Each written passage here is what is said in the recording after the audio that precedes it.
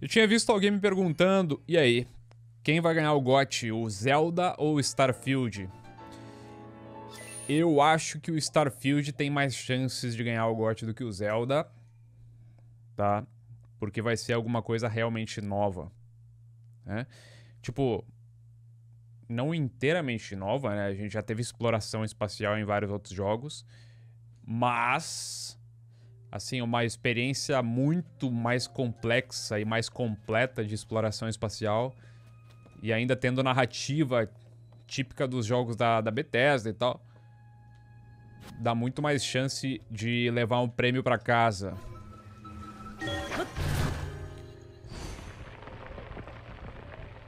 Então eu acho que, pelo que eu vi na live, acho que o Starfield tem mais chances de ganhar o GOT. E, manos, eu, eu tava. Eu tava pensando um pouco melhor sobre o Starfield. Eu acho que é o. Eu acho que eu devo jogar esse jogo em off, mano. Tipo.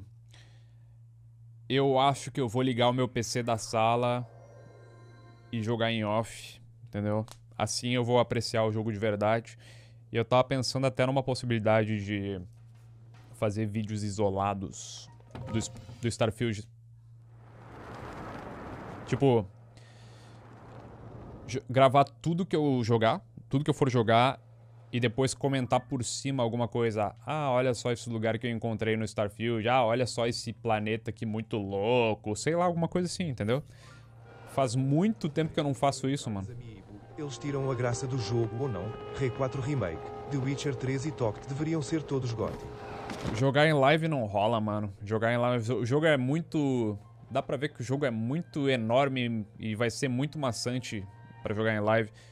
E para fazer umas lives com tipo, com pouca gente já já tá bom o Zelda, tá ligado? Entendeu? O Zelda eu, eu não ligo de fazer lives assim com pouca gente, pouca gente perto do que eu poderia ter com outros jogos, né? Claro, né? Relativamente pouca gente. Eu não ligo de fazer porque eu amo esse jogo, né? Eu, pra mim é um prazer jogar isso aqui o tempo inteiro. No Starfield eu não tenho tanta certeza, entendeu? E o Starfield eu acho que ele tem um apelo ainda menor, mano. Pra fazer lives do que o Zelda, sinceramente. Tá lá o Shrine. Esse a gente vai direto.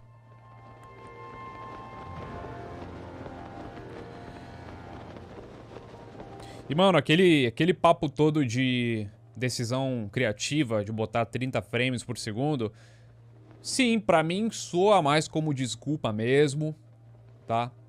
Porque se fosse fosse de decisão artística, eles teriam botado pelo menos uma opção para rodar no modo desempenho, né? Eu acho que eles só não conseguiram deixar o jogo estável a 60 frames de forma alguma. Tá? Não conseguiram.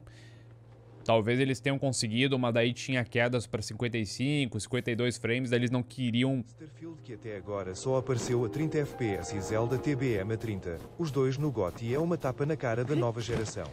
E também eu ouvi falar... Bom, PC vai ser liberado o frame rate, vocês estão ligados, né? E eu vou jogar no PC. Eu vou jogar acima de 60 frames e tal. Uh, eles não vão limitar o frame rate no PC. Eles não podem. Seria ridículo isso. PC é ilimitado. Entendeu? PC tem que ser... Opa, mais um de física, gostei. PC tem que ser ilimitado o frame rate. Porque não a, a limitação é virtualmente inexistente no PC. Virtualmente. Virtualmente significa na prática. Só que tem um problema, né, mano? Tipo, o problema é que às vezes o jogo pode vir atrelado à física, né? O frame rate atrelado à física. Eu acho bizarro que, que tem a possibilidade de um jogo hoje sair assim, mas tem uns tem umas suspeitas aí de que de que o, jogo, o frame rate vai estar atrelado à física. Então, se tu, se tu deixar o jogo rodar acima de 60 frames, a física vai ficar zoada. Entendeu? Isso é muito comum em jogos antigos. Resident Evil 4 Remake, The Witcher 3 e Tears of the Kingdom deviam todos ser GOT, segundo Giovanni. Caramba, meteu The Witcher 3 no meio desse ano? Por, por quê, mano? Ele... Que, que... Qual foi o ano do Witcher 3 mesmo? 2015? Quem levou o GOT desse ano? Foi o próprio The Witcher que levou? Ah, então por que, que ele mencionou ali o The Witcher no, do nada? É, esse negócio aí do Starfield ser a 30 frames, ele, ele é realmente um tapa na cara do consumidor mesmo, cara. Não tem desculpa, os caras fizeram propaganda de que seria...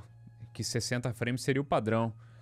Eu, tipo, eu, não teria problema se eles não tivessem feito essa, essa afirmação, né? Quer dizer, não teria tanto problema, né? Tipo, não teria tanto problema assim, mas eles fizeram muita propaganda do console deles rodando a 60 frames para cima, então eles que arquem, né, mano? Vamos confessar que eles sabiam que o povo ia cobrar. Eu, eu, assim, ó. O Zelda me provou, eu não preciso eu não preciso que o jogo rode a 60 frames, sabe? Eu não acho que é injogável se ele não estiver rodando a 60. Claro que num single player, né, num FPS online tem que estar tá acima de 60, né? Tem que estar tá 60 para cima. Mas num single player desses eu realmente não ligo. Depois do Zeldinha aqui eu tirei essa conclusão. Não sinto falta de mais frame rate. Dito isso, dito isso, os caras fizeram propaganda pro console ser eu tô falando do, do Xbox nesse caso. Eles fizeram propaganda que o console deles ia ser 60 pra cima. O Switch nunca fez essa promessa, né, mano? Então, cobrar do Switch não faz tanto sentido, porque é um console horroroso, né, mano, em performance. Só, só daria para cobrar de um Switch novo, né? Uma versão moderna aí, um Switch 2, sei lá. É, manos, eu acho que eu acho que o Zelda Tears não vai levar o GOT pelo mesmo motivo que o God of War Ragnarok não levou. Dá para fazer um paralelo muito parecido com, com os quatro jogos. God of War 2018, God of War Ragnarok, Breath of the Wild, Tears of the Kingdom. Entendeu? Eu meio que. Eu, eu, imaginei que o Ragnarok ia ganhar vários prêmios, mas não o GOT, porque ele era muito parecido com o de 2018, que já tinha ganhado o GOT. O Tears é muito parecido com o Breath, que já tinha ganhado o GOT. Entendeu? Uh, assim, a não ser que o Starfield engane todo mundo, eu acho que o Starfield vai. Vai levar, vai levar. Porque Tipo, por mais que eu analise o Starfield como um jogo não muito bom para eu streamar, eu devo reconhecer que o negócio, se for bem feito, né? Se não enganar geral, vai ser algo absurdamente bom. Aí, bom, daí entra o Final Fantasy e o Resident Evil também, mas convenhamos, né, manos? Os caras vão dar mais atenção ou pro Zelda ou pro Starfield. Mas, ô, eu, eu eu não vejo problema do Zelda não levar esse GOT. Acho que, na minha opinião, por ter sido muito parecido com o Breath, ele não merece o GOT. Ele merece vários prêmios e tal. Mas eu acho que o GOT ele não merece, mano, sinceramente. Eu fiquei meio decepcionado, confesso pra vocês, mano. Eu fiquei, eu fiquei meio decepcionado. Por mais que foi uma, tenha sido uma delícia de explorar esse jogo e que eu considere ele superior ao, ao Breath em conteúdo e gameplay, muito parecido com o Breath, mano. Hogwarts Legacy? Ah, Hogwarts Legacy não tá no nível desses jogos aí, mano. Starfield não tem cara de ser tudo isso, tá muito com cara de No Man's Sky, disse o Victor Hugo.